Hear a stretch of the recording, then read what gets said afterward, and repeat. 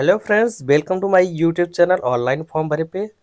दोस्तों, आपको बता दें कि जो बिहार जुडिशियल का फॉर्म भराया था, जिसका लास्ट डेट था 27 मार्च, दोस्तों, उसमें आप जो करेक्शन है, उसमें करेक्शन के लिए आपको अपडेशन यहाँ पे आ चुका है उसकी ऑफिशियल वेबसाइट पे। आज मैं आपको बताने वाला हूँ स्टेप बाय स्टेप आप कैसे करेक्शन कर सकते हैं, जो भी गलती हुई है, आप करेक्शन कर सकते हैं आसानी से। तो दोस्तों, अगर आप मेरे चैनल पर नए हैं तो चैनल को ज़रूर सब्सक्राइब कर लीजिएगा। अब बेल घंटा घंटी सब बजा लीजिए। तो दोस्तों, आपको बता दें कि आप अगर मोबाइल से अप्लाई कर रहे हैं, आप करेक्शन कर रहे हैं तो आपको क्या करना, सबसे पहले यहाँ पे आपको थ्री डॉट पे आना है। थ्री डॉट पे आने के बाद दोस्तों, यहाँ पे आप देख सकते हैं मेरा जो है ऑलरेडी डेस्कटॉप साइट है। तो आपको पहले डेस्कटॉप साइट कर लेना अगर नहीं हुआ है तो आप पहले डेस्कटॉप साइट करेंगे। और दोस्तों, आपको बता दें कि ये जो आपका ऑफिशियल लिंक है, मैं अपने डिस्क्रिप्सन बॉक्स में दे दूँगा। आप वहाँ ईजी से ईजिली जो है आप चेकआउट करके आ सकते हैं। तो सबसे पहले दोस्तों आप यहाँ पे जो है ऑफिशियल वेबसाइट पे आ चुके हैं। अब आपको नीचे स्क्रॉल करना है। स्क्रॉल करने के बाद दोस्तों यहाँ पे देख सकते हैं कि लॉगिन आईडी पासवर्ड आपको यहाँ पे ये है। यहाँ पे यूज़र आईडी यहाँ पे पासवर्ड यहाँ पे ये यह आपको जो कैप्चा दिख रहा है, यहाँ पे आपको लॉगिन करना है। अब दोस्तों यहाँ पे आप अगर अपना यूज़र नेम और पासवर्ड जो फारगेट करना चाहते हैं, अगर भूल गए हैं तो यहाँ से कर सकते हैं। वैसे मैं आपको बता दूँ दोस्तों, अगर आप जो है जो जी मेल आई दिए हैं मोबाइल नंबर दिए हैं, आपको उस पर यूज़र आईडी और पासवर्ड ज़रूर प्राप्ति, प्राप्त हुआ होगा। आप वहाँ से जो है सर्च कर सकते हैं। आप अगर जी मेल पर हैं तो वहाँ पर सर्च करेंगे बिहार जुडिशियल तब भी आ जाएगा। आप वहाँ से ईजिली चेक कर सकते नहीं है तो यहाँ पे ऑप्शन आपको मिल जाएगा। आपको क्या करना है दोस्तों? यहाँ पे यूज़र आईडी पासवर्ड डाल के आपको लॉगिन वाले बटन पे आपको क्लिक करना है। दोस्तों, जैसे ही लॉगिन करेंगे, आप यहाँ पे जो ऑफिशियल वेबसाइट के डैशबोर्ड पे आ जाएँगे। आप, यहाँ पे आपका सारा रजिस्ट्रेशन नंबर रहेगा, यहाँ पे आपका सारे डिटेल्स रहेगा।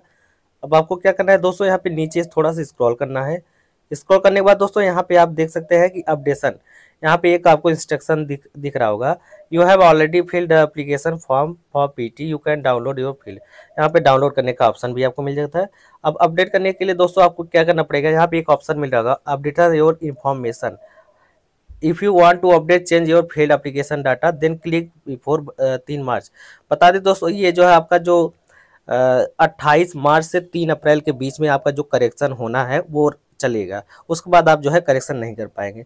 अब आपको क्या करना है दोस्तों, यहाँ पे अपडेट और इन्फॉर्मेशन पे आपको क्लिक कर देना है। क्लिक करने के बाद आपको थोड़ा सा वेट करना है। उसके बाद देख सकते हैं कि यहाँ पे मेरा सारा जो है डिटेल्स खुल चुका है। यहाँ पे जमती थी जो भी आप चेंज करना चाहते हैं दोस्तों, यहाँ पे आप आसानी से जो है चेंज कर सकते हैं।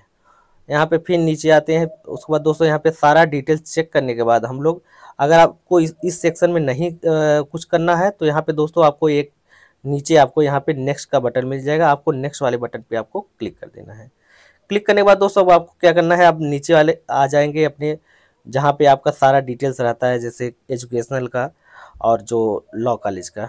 तो दोस्तों बता दें आपको यहाँ पे आप अगर सबसे बड़ी गलती मैंने यहाँ पे ये कर दिया है कि यहाँ पे सत्र जो है सिर्फ़ एक ही सत्र लिखा है।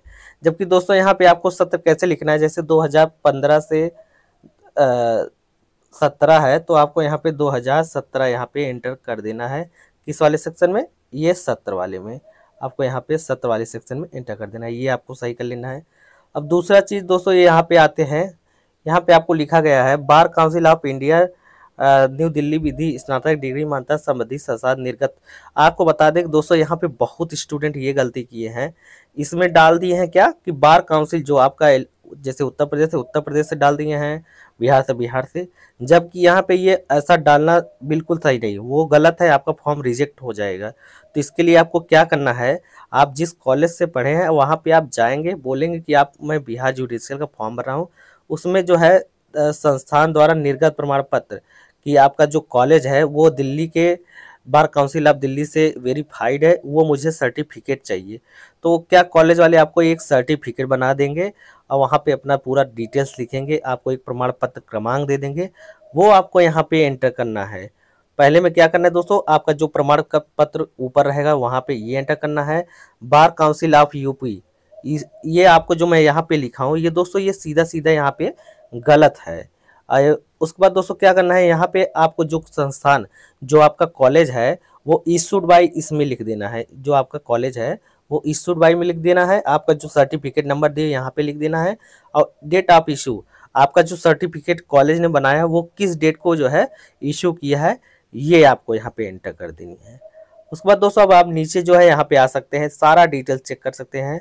या आपका कुछ गड़बड़ है तो यहाँ पे कर सकते हैं। नहीं तो आप सिंपली जो है यहाँ पे एक ऑप्शन मिल जाएगा आपको नीचे स्क्रॉल करने पे प्रीव्यू प्रीव्यू पे आप जो है यहाँ पे, मैं आपको हाईलाइट करके दिखा दे रहा हूँ तो आपकी अच्छी तरह यहाँ पे प्रीव्यू पे क्लिक कर देंगे।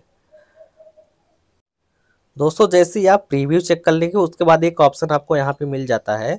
सबमिट अप्लीकेशन का मैं आपको हाईलाइट करके दिखा दे रहा हूँ, यहाँ से आप चेक कर सकते हैं। यहाँ पे सबमिट का अप्लीकेशन आपको दिखाई दे तो आपको इस पर क्लिक कर देना है। क्लिक करते ही दोस्तों यहाँ पे आपको चेक बॉक्स मिल जाएगा। यहाँ पे पूछता है भी check all entries further correction to required submission आप भी एक्सेप्टेड तो यहाँ पे आपको यस कर देना अगर आप चेंज करना चाहते हैं तो यहाँ पे नो कर सकते हैं। नहीं तो सिंपली यहाँ पे आपको आपको इस बटन पे आपको यहाँ पे यस कर देना है। यस करते ही दोस्तों यहाँ पे देख सकते हैं, आपको एक रेफरेंस नंबर दे दिया जाएगा और यहाँ पे फिर से आपको बोल दिया जाएगा कि आप री लॉगिन करिए। उसके बाद दोस्तों क्या करना है? फिर आपको यहाँ पे री लॉगिन पे क्लिक करना है।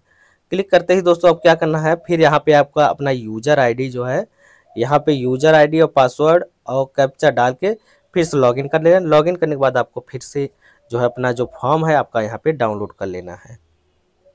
दोस्तों जैसे ही लॉगिन करेंगे, उसके बाद आपको यहाँ पे जो नीचे क्लिक करना है। क्लिक करने के बाद दोस्तों एक ऑप्शन मिल जाता है यहाँ पे डाउनलोड फॉर्म पे। आपको क्या करना है? यहाँ पे डाउनलोड फॉर्म पे क्लिक कर देना है।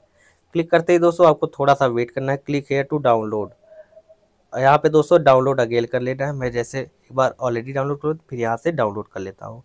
अब देख सकते हैं दोस्तों, यहाँ पे मेरा जो है फॉर्म एकदम डाउनलोड हो चुका है और मेरा जो करेक्शन हो चुका है यहाँ पे।